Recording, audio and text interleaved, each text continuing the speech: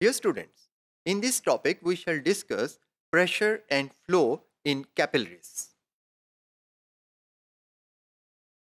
Dear students, the wall of the arteries and arterioles has smooth muscles. These smooth muscles become discontinuous when they subdivide to form the meta arterioles.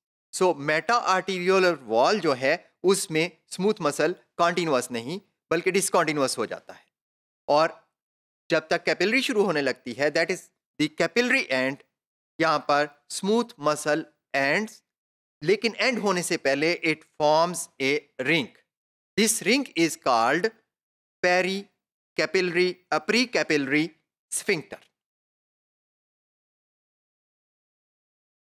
This precapillary sphincter, along with the innervated smooth muscles of the arteriole play an important role in the control of circulation in capillary beds.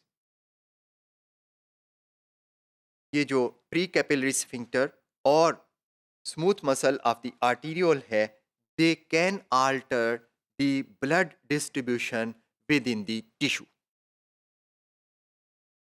Dear students, the tissues have networks of capillaries, but all capillaries are not open or closed at a time. कुछ capillaries एक tissue में open होती हैं और कुछ बंद रहती हैं in most tissues about 30 to 50 percent of the capillaries are open to flow at a time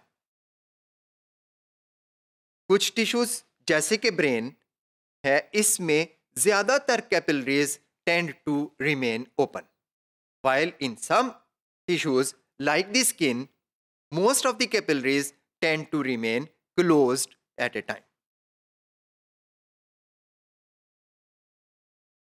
dear students all capillaries in a network are only a short distance away from the arteriole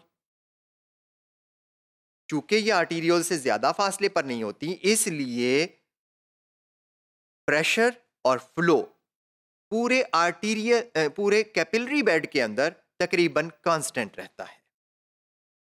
The transmural pressures within a capillary bed are around 10 millimetre mercury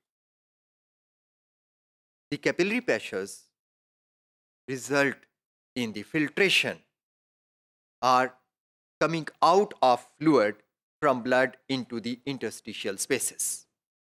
In most tissues, जो net movement है कि कितना fluid capillary में से बाहर निकला और कितना रीअब्जॉर्ब हुआ कैपिलरी में इसे हम नेट मूवमेंट ऑफ़ फ्लूड कहेंगे।